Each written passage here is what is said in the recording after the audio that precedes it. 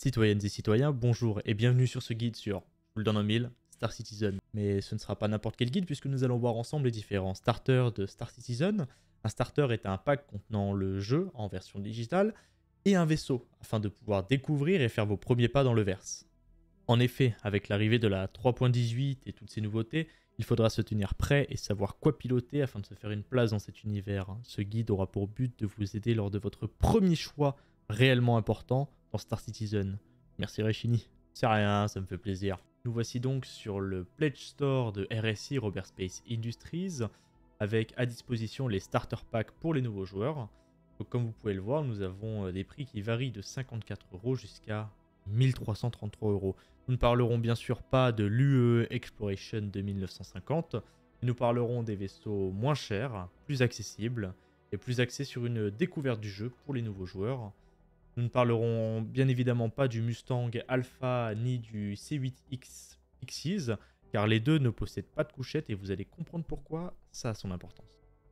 Nous ne parlerons également pas euh, des jeux qui comprennent également euh, le jeu Squadron 42 qui est la campagne solo de Star Citizen. Après, rien ne vous empêche de prendre le Squadron 42 à part ou de prendre un pack qui comprend également le jeu. Nous, nous allons nous axer plus sur les packs qui comprennent uniquement le vaisseau et le jeu multijoueur Star Citizen.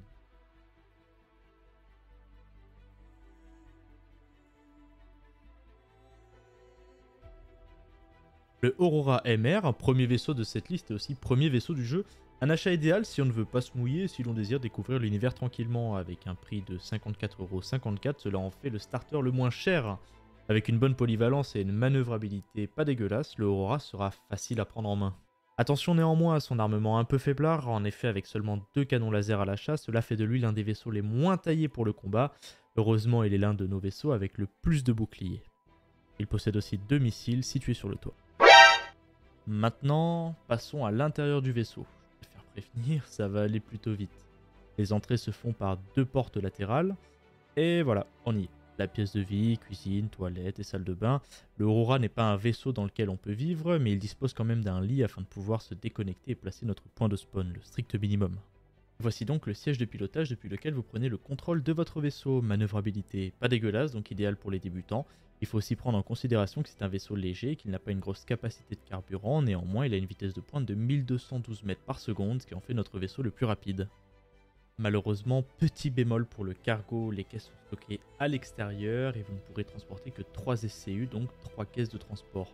Elles sont vulnérables et peuvent être dérobées si vous ne faites pas attention. Pour conclure sur le Aurora, nous avons un vaisseau équilibré, idéal pour tous nouveaux arrivants, mais pas forcément destiné à du commerce avec son faible cargo. Pas optimal en combat non plus, à moins d'acheter de l'armement supplémentaire. Il est aussi très vieux, mais il a l'avantage d'avoir un prix imbattable comparé aux autres starters.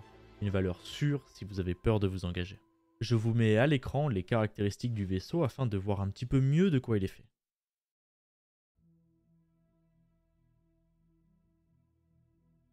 Le cutter de chez Drake, c'est un starter plutôt industriel qui vous servira de petite maison mobile.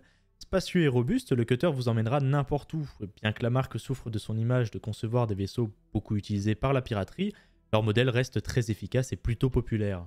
C'est un vaisseau très résistant, à noter que celui-ci ne possède que deux canons laser S1 en gimbal et fait de lui le vaisseau le moins qualifié pour le combat de notre liste. Néanmoins, il possède 4 slots de missiles S2 pouvant faire de gros dégâts. Il est également le premier vaisseau dans notre liste à posséder une rampe d'accès. Il a aussi l'avantage d'être plutôt jeune, sorti en novembre 2022. Il possède des boutons physicalisés et est le seul à pouvoir accueillir un petit véhicule dans sa soute. Il est possible de verrouiller la rampe d'accès via le panel de commande et éteindre ou allumer la lumière à votre bon vouloir. En termes de stockage, il possède 4 SCU, un de plus que l'Aurora et à l'abri des regards. Et là nous avons le gros point fort de ce starter, un espace de vie plus que conséquent. Il faut savoir que tous les éléments du vaisseau seront utilisables et utiles et que rien n'est laissé au hasard.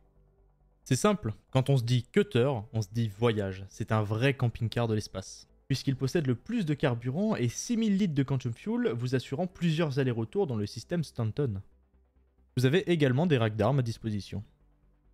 Tous les composants interchangeables tels que les batteries, générateurs d'énergie ou de boucliers du vaisseau sont faciles d'accès, mais les changements physiques des composants se feront dans une future version du jeu. Au niveau du cockpit, il faut pas être claustrophobe. Le cutter a une visibilité largement réduite comparée à tous les autres vaisseaux de la liste. Niveau manœuvrabilité, c'est un veau, mais il possède le système VTOL, c'est-à-dire que les propulseurs se mettent à la verticale pour améliorer la poussée lors d'une montée ou une descente et peuvent se remettre à l'horizontale pour améliorer la propulsion euh, lors d'un départ dans l'espace ou autre. Et c'est le seul vaisseau de notre euh, liste à utiliser ce système. C'est un point positif donc. comme vous pouvez le voir, c'est un cube, hein, sans aucun aérodynamisme, mais ça c'est propre à la marque Drake. Voilà ce qu'il en est pour ce vaisseau disponible au prix de 72,72€ avec son starter, et qui est selon moi l'un des meilleurs vaisseaux pour commencer. Je vous mets bien évidemment les caractéristiques propres au vaisseau.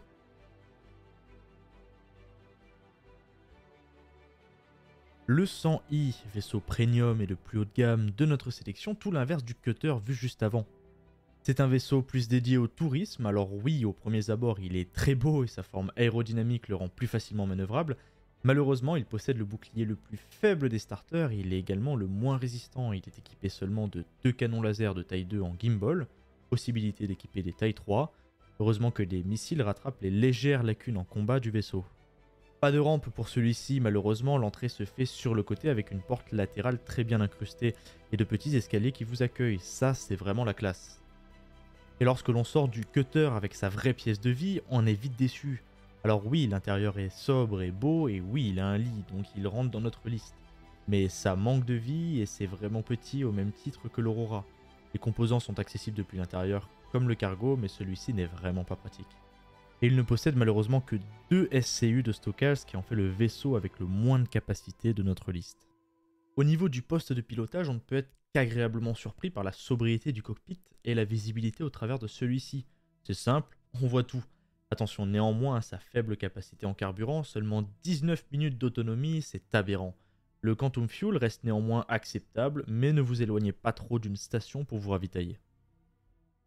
Donc pour résumer, nous avons un vaisseau avec très peu d'espace de vie, très peu de cargo, très peu de carburant et très peu résistant. Pas du tout taillé pour du combat pour des débutants, mais il est très beau. Nous fournir des vaisseaux haut de gamme, c'est la fierté de la marque Origins. Il est selon moi le pire starter avec lequel commencer car il manque de tout. Son rôle servirait plutôt de vaisseau parasite, c'est-à-dire servir de navette pour des plus gros vaisseaux, comme le 890 Jump du même constructeur. Je vous mets tout de même les caractéristiques principales du vaisseau pour les curieux, même si je ne le recommande pas.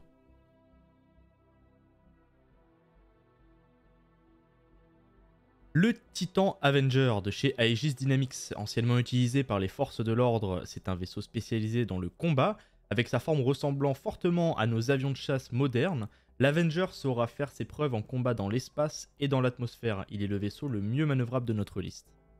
Qui dit combat, dit armement, et avec ses deux canons laser de taille 3 en gimbal, vous réduirez à néant les boucliers énergétiques de vos ennemis. Mais son gros point fort, c'est sa Gatling de taille 4 en balistique, qui ira déchiqueter les coques de vos adversaires. Attention cependant, les munitions sont limitées. Tout ceci agrémenté de 4 missiles de taille 3 assurant un joli feu d'artifice. Sur celui-ci, la rampe est revenue, donnant directement sur la soute. Soute avec une capacité de 8 SCU, ce qui en fait le starter avec la plus grande capacité de stockage. Mais ce n'est pas tout puisque l'accès au vaisseau se fait également via le cockpit, ce qui est pratique lorsque la soute est pleine à craquer, et ce qui en fait le seul vaisseau de notre liste à posséder deux entrées. Et là, on voit vraiment l'inspiration de nos avions de chasse traditionnels, et le plus important, une visibilité totale, pour nous gêner lors des combats, tout pour nous permettre de voir nos ennemis exploser sous le feu nourri de l'Avenger. Passons à l'intérieur maintenant, avec bien évidemment sa zone de cargo et son espace de vie. Beaucoup moins spacieux que le cutter précédemment vu, mais toujours plus spacieux que le Aurora et le 100i que nous avons pu également voir. Ce n'est pas un gros point négatif pour l'Avenger car il n'est pas prévu pour les longs voyages. Petit bonus également, vous pouvez vous éjecter avec votre siège lorsque votre vaisseau est sur le point d'exploser, vous sauvant ainsi vous et votre équipement. Pour conclure, l'Avenger est un vrai vaisseau de combat, avec un armement plus que conséquent en termes de canon comme le missile, et avec une bonne résistance et un bon bouclier, il tient facilement les combats contre d'autres chasseurs. Très facilement manœuvrable et avec un cargo très raisonnable, on se dit que c'est le starter parfait pour commencer Star Citizen, mais petit bémol, son prix. En effet, 84,84€, c'est peut-être un peu cher pour débuter dans le verse. Je l'ai quand même mis dans la liste car le prix n'est pas abusif et que beaucoup pourraient se le permettre. Comme pour les autres vaisseaux, je vous mets les caractéristiques principales de l'Avenger.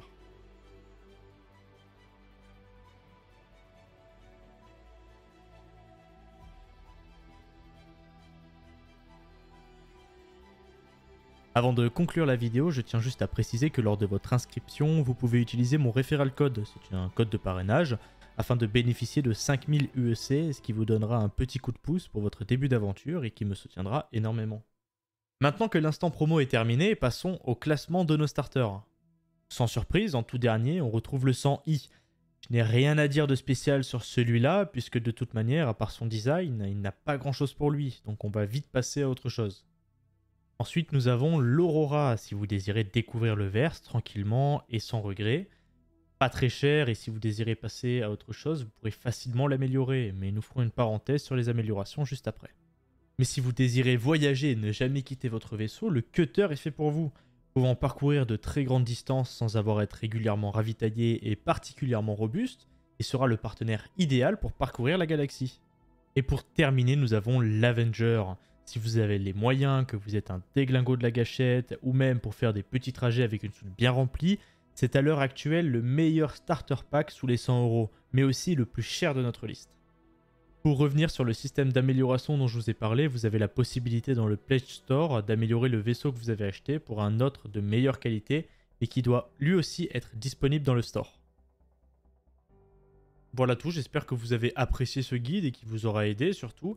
Je me suis dit que ce serait sympa de faire une petite vidéo comme ça avec la sortie de la 3.18 et l'affluence de nouveaux joueurs. N'hésitez pas à laisser un petit commentaire, à liker la vidéo, et puis après si vous avez envie de discuter, si vous avez des questions, ou que vous voulez jouer avec des gens, mon Discord reste ouvert. C'était votre commandant de bord, à bientôt dans le verse.